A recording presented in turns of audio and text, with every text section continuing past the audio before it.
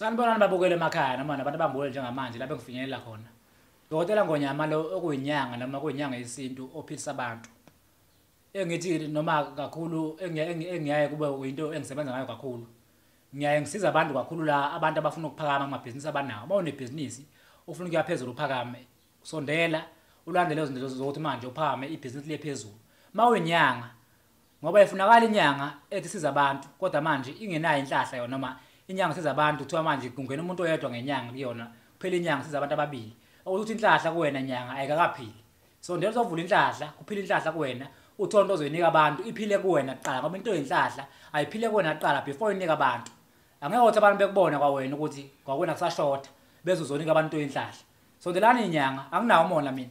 Ikhona into okuphilela ekhaya sonikeza uma ubukufuna ungithi labo enambeni ungifonele uthonto okuphila ezinyangeni bamabhizinisi abaphakamisa siqale isikhathi mase sikunika into kunesikhathi isikala ukuthi manje ngama ngama ngaki yaphakama lento siyabonga umhlaba wonke siyabonga